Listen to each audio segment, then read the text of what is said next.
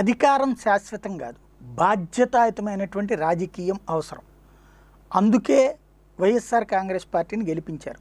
గతంలో అహంకారపూరితమైనటువంటి మాటలు మాట్లాడారు అధికార పక్షం వాళ్ళని తెలుగుదేశాన్ని పక్కన పెట్టారు. ఇప్పుడు వాళ్ళ తాతల్లాగా ప్రవర్తిస్తున్నారు వైఎస్ఆర్ కాంగ్రెస్ పార్టీకి సంబంధించినటువంటి ప్రజాప్రతినిధులు.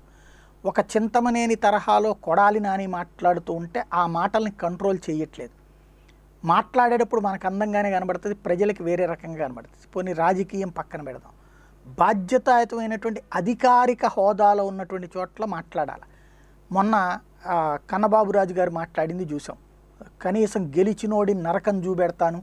కా- ఆ పంచాయతీ కార్యాలయాన్ని కూడా నేను ఓపెన్ కానియను నా శక్తి ఏంటో నా సత్తా ఏంటో చూపెడతాను. ఎవరినైనా ఆడుకుంటాను. మీకు సంక్షేమ పథకం ఏది రాదు.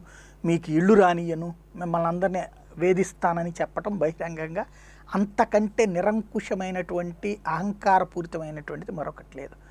అట్లాగే జోగి రమేష్ చేసినటువంటి ప్రసంగం.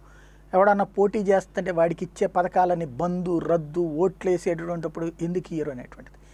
ఇంతకుముందు తెలుగుదేశం పార్టీని ఇదే పాయింట్ నంద్యాల విషయంలో కానీ అట్లాగే మెయిన్ ఎన్నికల సందర్భంలో కానీ వైఎస్ఆర్ కాంగ్రెస్ పని నిలదీసింది. ఎవరు సొమ్ములు ఇస్తున్నారు? జనం సొమ్ములే కదా.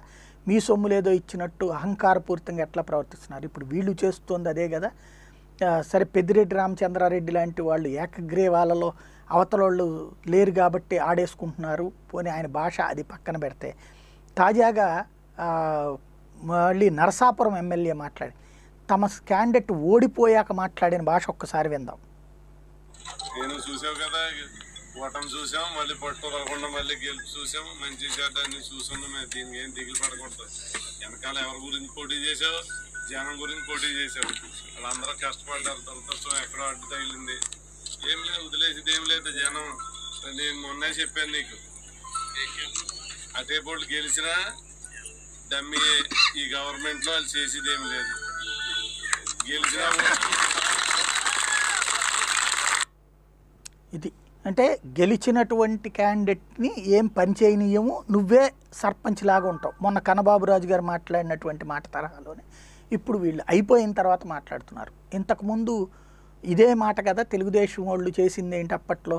ఎమ్మెల్యేగా గెలిచినటువంటి వాళ్ళని పక్కన పెట్టేసి ఓడిపోయినటువంటి వాళ్ళని నియోజకవర్గ ఇన్ఛార్జీలు వేసి కార్యక్రమాలన్నీ వాళ్ళ ద్వారా జరిపించినప్పుడు ప్రజాస్వామ్యం చచ్చిపోయింది ప్రజాస్వామ్య స్ఫూర్తి చచ్చిపోయింది. మేము వస్తే సంస్కారవంతమైన బాధ్యతాయుత రాజకీయం చేస్తామని జగన్మోహన్ రెడ్డి గారే పదే పదే ఉపన్యాసాల్లో చెప్పారు.